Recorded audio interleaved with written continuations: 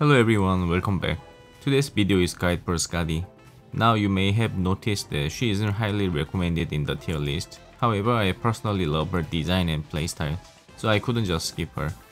I believe there are other people who couldn't skip her either, so let's find out how to play Skadi together. Skadi is a Divine Grace type and can enter cruise mode by expanding full Divine Grace. By holding down the normal attack button, Skadi can perform charging attack and her normal attacks, charging attacks, and skill 2 will gain the Divine Grace. Additionally, Skadi gains an Icebreaker mark with skill 1, which provides a 20% damage buff to charging attack and a 10% damage buff to ice damage.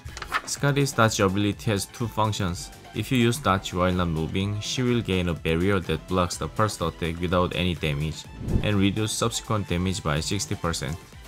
Furthermore, if you have the Icebreaker mark, you can cancel the barrier right after being hit to unleash an instant charging attack.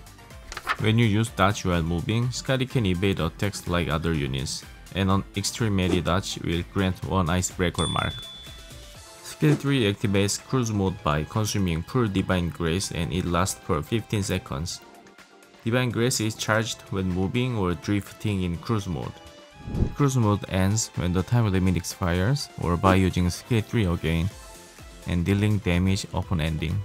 However, be cautious as cruise mode often makes it difficult to avoid attacks, and Skadi can easily be defeated if you are not careful. In general, melee attacks offer better damage output, and the ultimate skill also provides a damage buff to charging attacks. Therefore, many people choose not to use cruise mode at all. The blue code focuses on melee attacks without cruise mode, and offers the highest damage output with easy control. In this code, the charging attack duration is reduced by 1 second, and each successful hit reduces the cooldown of skill 1 or skill 2 while increasing the cooldown of skill 3. Skill 1 also receives a damage buff by expanding one mark when the mark is full. The combo in this code simply rotating the charging attacks, skill 1 and skill 2.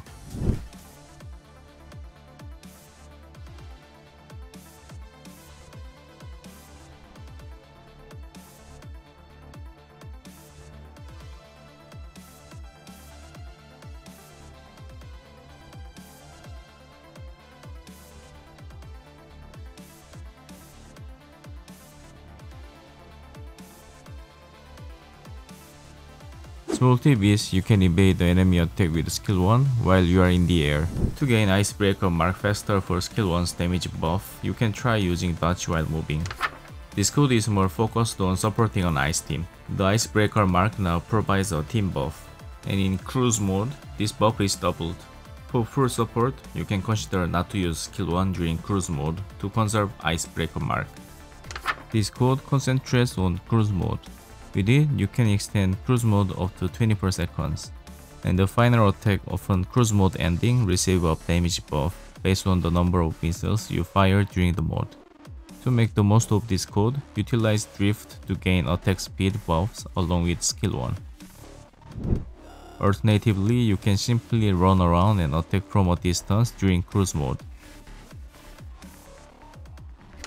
If you don't need to provide a team buff and wish to combine melee and cruise mode, you can consider using one yellow code with two red codes.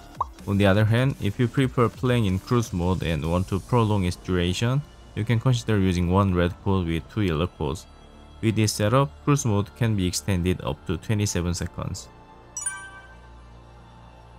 If you want Skadi to be your main dealer, I recommend using Ice Damage Sigil along with Critical Sigil or this set with Divine Grace Sigil also good to use.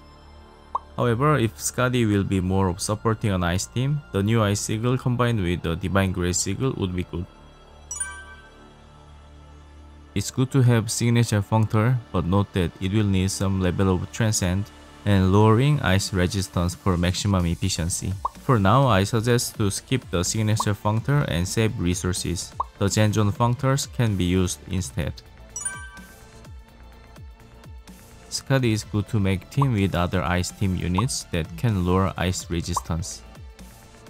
Once you try the Skadi, you will find out that she's not so bad after all. It's unfortunate that cruise mode doesn't seem very useful, but still very fun with decent damage. I just hope she can receive buff in future like Osiris and other units.